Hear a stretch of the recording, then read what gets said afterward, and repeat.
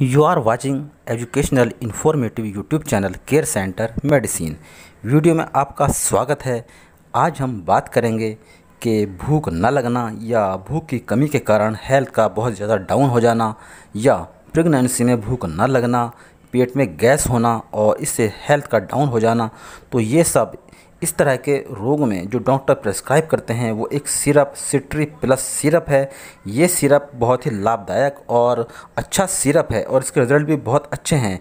इस सिरप को जो कंपनी बनाती है और इसके साइड इफ़ेक्ट्स, प्रिकॉशन वार्निंग्स, ये सब जानेंगे आप आगे वीडियो में। तो जो इस वीडियो पर अभी नए हैं तो वो चैनल को सब्सक्राइब करके घंटी वाला प्रेस कर लें जिससे हर आने वाली हेल्पफुल और इन्फॉर्मेटिव वीडियो आपको सबसे पहले मिले। वीडियो पसंद आने पर आप वीडियो को लाइक भी कर दें। तो सिट्री प्लस सिरप ये syrup cyproheptadine H C L and tricholine citrate ये इस दोनों केमिकल से मिलकर ये बनाई जाती है। ये साइप्रोहेप्टाडीन सिरप ये जो इसमें केमिकल होता है, ये एलर्जी जो बारहमासिक एलर्जी होती है, जिसमें भूख नहीं लगती है या हल्का नज़ला भी रह सकता है, इस तरह की जो एलर्जी होती है, ये उसे दूर करता है और ट्राइकोलिन सिट्रेट ये भूख को, जो भूख लगने के कारण लोग खा नहीं पाते हैं या खाने को देखकर खाना तो अच्छा लगता है बट वो खाने से उन्हें एलर्जी हो जाती है, यानी खाना उन्हें पसंद नहीं होता है और इस तरह की एलर्जी हो जाती है।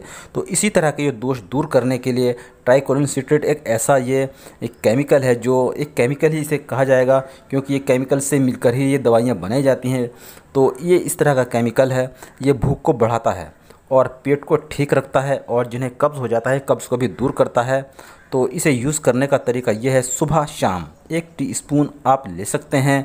और ये खाना खाने से पहले या खाना खाने के बाद भी लिया जा सकता है।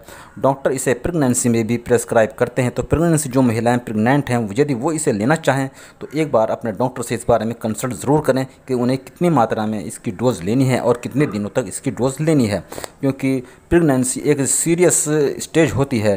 तो ये इसके लेने के तरीके हैं। यदि इसे आप नियमित लेते हैं तो इससे भूख भी बढ़ जाती है और खाना बहुत अच्छे से डाइजेस्ट हो जाता है, जिससे हेल्थ बिल्कुल फिट हो जाती है।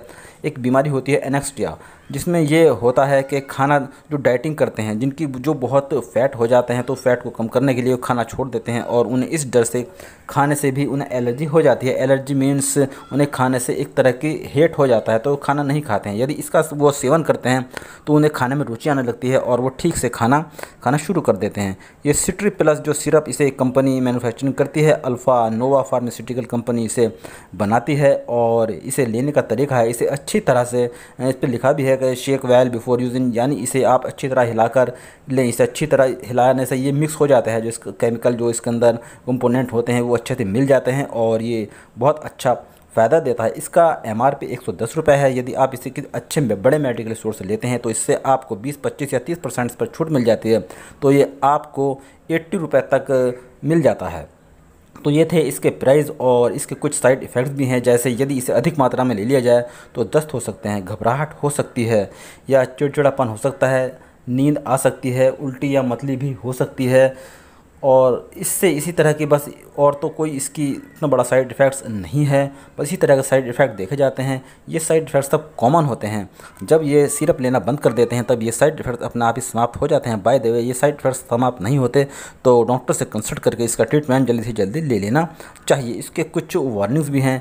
वैसे तो इसके कोई इस तरह के कोई ख़ास वारने में कोई इस तरह का ख़ास प्रिकॉशन नहीं है, जिससे कोई इस तरह का कोई डर रहे कि या कोई किडनी पेशेंट है या लीवर पेशेंट है या हार्ट पेशेंट है। यदि इसी तरह कोई पेशेंट है, कोई इस तरह की बड़ी बीमारी है तो सबसे पहले अपने डॉक्टर को इस बारे में बताना चाहिए कि वो किस बीमारी से ग्रसित हैं। यदि दस्त हैं, किसी को दस्त लगे हुए हैं तो इस सिरप को नहीं लेना चाहिए, क्योंकि इससे और अधिक दस्त हो सकते हैं। ये इसकी प्रिकॉशंस है। तो ये जानकारी आपको कैसी लगी, आप मुझे कमेंट्स बॉक्स में ज़रूर बताएँ। और जिन्हें वीडियो पसंद आई हो, वीडियो को लाइक कर दें। जिन्होंने चैनल को अभी तक भी सब्सक्राइब नहीं किया है, वो चैनल को सब्सक्राइब करें, घंटे वाला निशान प्रेस कर लें। तो फिर वीडियो में लास्ट तक बने रहने के लिए आपका धन्यवाद। मिलते हैं फिर नेक्स्ट वीडियो में किसी नई और अच्छी जानकारी साथ। Thank you friends